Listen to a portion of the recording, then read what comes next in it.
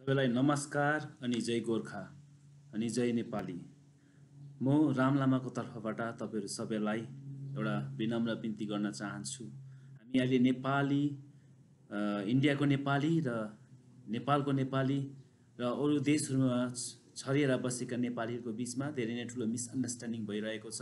एउटा भिडियोको कारणले गर्दा जुन दिदीले भिडियो पठाउनु भएको थियो त्यो भिडियो कारणले गर्दा अहिले हाम्रो बिचमा मिसअन्डरस्ट्यान्डिङ भइरहेको छ।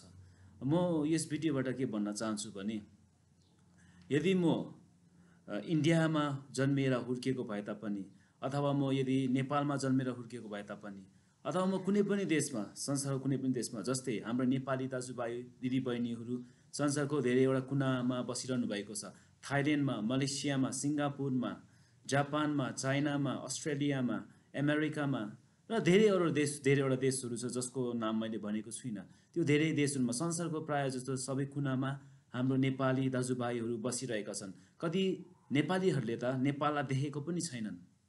तर पनि उहाँहरू जहाँ भए तापनि जसरी बसे तापनि आफ्नो नेपाली भाषा राम्रोसँगले नबोले तापनि तिनीहरू सबैको आइडेन्टिटी मानिसहरूले चिनिने मानिस अरू मानिसहरूले हेर्ने नजर चाहिँ हामीलाई एउटा नेपालीको रूपमा हेरिन्छन्।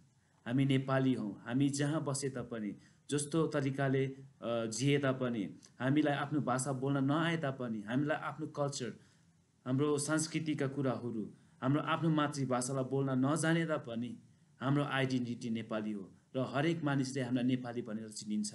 र म गर्वसँग भन्न सक्छु म नेपाली हो। यद्यपि म इन्डियामा जन्मेको भए तापनि मेरो धेरै पुस्ताहरू इन्डियामा नै जन्मेर हुर्किए तापनि मरे तापनि म नेपालमा इन्डियामै जन्मेको भए तापनि इन्डियामै मैले सब कुरो पाएको भए तापनि म नेपाली भएको कारणले गर्दा म गर्व गर्छु। म नेपाली हो तर म इन्डियामा हुर्किएको हो। इन्डियन नेपाली भन्न सकिन्छ। तर यसको मतलब होइन म म मेरो आइडेन्टिटी नेपाली छैन भनेर भन्न खोजेको होइन। म नेपाली हुँ र नेपाली भनेर मलाई मानिसले चिनिन्छ। र हामी अहिले यो इन्डियामा जुन कुरो पनि भइरहेको छ गोर्खाल्यान्डको कुरो यो कुरोलाई यसो हेर्दाखेरि कतिपय अब गोर्खाल्यान्ड माग्यो भनेर नेपालकोहरूले सोच्छन् उहाँको गोर्खामा गोर्खा डिस्ट्रिक्टको नाम अथवा गोर्खा पाएको कुरोलाई सम्झिएर उहाँहरूले मिसअन्डरस्ट्यान्ड गरिरहनु भएको छ कि उहाँहरूले गोर्खाको नाम लिएर गोर्खाल्यान्ड मागिरहेको छ जसले गर्दा उहाँहरूको गोर्खा भन्ने कुरो आइडेन्टिटी हराउँछ भनेर सोचिरहनु भएको छ। म यो भन्न चाहन्छु हाम्रो गोर्खा भन्ने आइडेन्टिटी कहिल्यै हराउने छैन। नेपाल चाहे तपाईँहरू नेपालका नेपाली भए तापनि। तपाईँहरूले कुनै पनि देशमा गएर कुनै देशलाई सहायता गरिरहनु भएको छ भने तपाईँहरू यदि नेपाली हो भने तपाईँलाई नेपाली भनेर नै चिनिन्छ। चाहे तपाईँ जोसुसुकैसँगले बसेको किन नहोस् तपाईँलाई गोर्खा भनेर चिनिन्छ। तपाईँको आइडेन्टिटी कुनै पनि प्रकारले हरिँदैन हराउँदैन। यदि मैले जस्तो सुकै कपडा लगाए तापनि यदि म कुनै पनि देशका मानिस भएर बस्न चाहे तापनि मानिसहरूले मलाई नेपाली भनेर चिनिन्छन् एउटा गोर्खा भनेर चिनिन्छन्। चाहे म जस्तो सुकैसँग ब- बसे किन नहोस्। यसै कारण तपाईँहरूको नेपालको आइडेन्टिटी कहिले हराउँदैन? तपाईँहरूलाई गोर्खा नै भनेर चिनिन्छ तपाईँहरूलाई नेपाली नै भनेर चिनिन्छ। र इन्डियामा बस्ने जति तपाईँहरूको दाजुभाइ दिदीबहिनीहरू छ तिनीहरूलाई पनि गोर्खा भनेर चिनिन्छन्। जस्ट फरक चाहिँ के हो भने भने तिनीहरूलाई इन्डियन गोर्खा भनेर चिनिन्छन् तपाईँहरूलाई नेपाली गोर्खा भनेर चिनिन्छन्। र यसै कारण त्यो जुन चाहिँ भिडियो कारणले गर्दा तपाईँहरूलाई धेरै नै दुःख भइरहेको छ जुन कुरोले तपाईँहरूलाई नराम्रो फिल भइरहेको छ। हामी त्यसको लागि म त्यसको लागि क्षमा चाहन्छु एउटा इन्डियन नेपाली भएको कारणले गर्दाखेरि।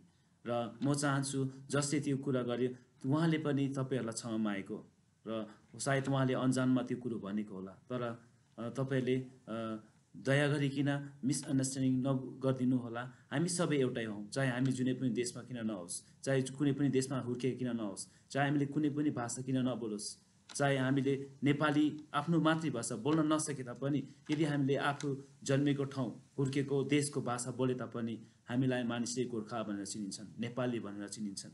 यसै कारण तपाईँहरू पनि मिसअन्डरस्ट्यान्डिङ नगरिदिनुहोस्। तपाईँहरूलाई पनि तपाईँहरू चाहे दार्जिलिङ गोर्खाल्यान्ड पाए तापनि दार्जिलिङ तपाईँहरूको गोर्खाल्यान्ड गोर्खा भन्ने कुरो आइडेन्टिटी हराउँदैन।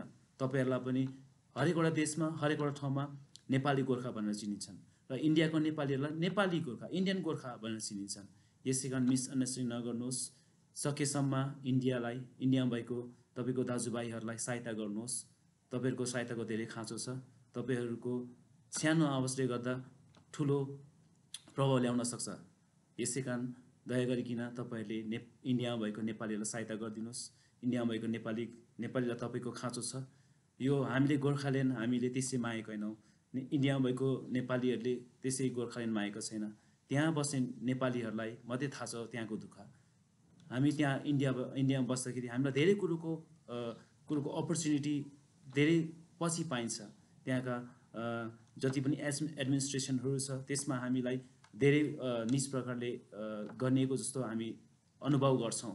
यसै कारण तपाईँले हाम्रो व्यथालाई बुझिदिनुहोस् र इन्डियामा भएको तपाईँको दाजुभाइ दिदीबहिनी नेपाली गोर्खाहरूलाई नेपालीहरूलाई सहायता गरिदिनुहोस्। धन्यवाद।